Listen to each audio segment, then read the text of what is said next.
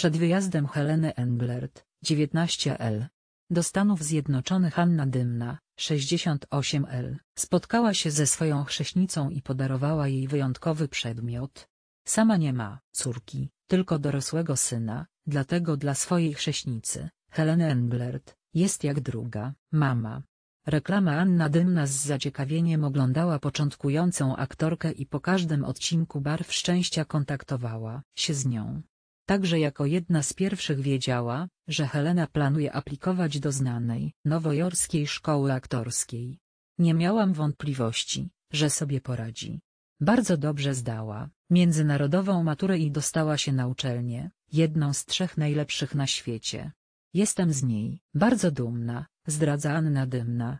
Przed wyjazdem spotkała się ze swoją chrześnicą i podarowała jej wyjątkowy przedmiot. Jakiś czas temu, kiedy Anna Dymna odpoczywała w Lubiatowie, spacerując, brzegiem morza znalazła kamień. Wyglądał zwyczajnie. Podniosła go, oczyściła z piasku i zabrała ze sobą. Postanowiła podarować go Helence. Ale za każdym razem zapominała to zrobić. Udało się, niemal w ostatniej chwili. Mało osób wie, że Anna Dymna podobny kamień nosi przy sobie od 47 lat. Dostała go od pierwszego męża, Wiesława Dymnego. Nie, jestem przesądna w ogóle, tylko ja wierzę w taką ludzką energię.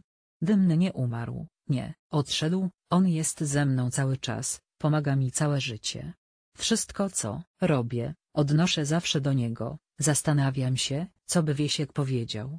Czy byłby ze mnie dumny, czy by mnie kopnął. A z tym kamieniem ja się bezpieczniej czuję, zdradza. Wierzę, że również Helena ze swoim talizmanem będzie czuła się bezpiecznie w nowym miejscu, które od rodzinnego domu dzielą tysiące kilometrów. Że uda jej się zrealizować marzenie, skończy studia i zostanie znakomitą aktorką. Anna Dymna trzyma za nią kciuki i czeka na jej opowieści. A Helena obiecała, że o wszystkim opowie cioci, kiedy przyleci do Polski na Boże Narodzenie. Zobacz więcej materiałów z życia gwiazd.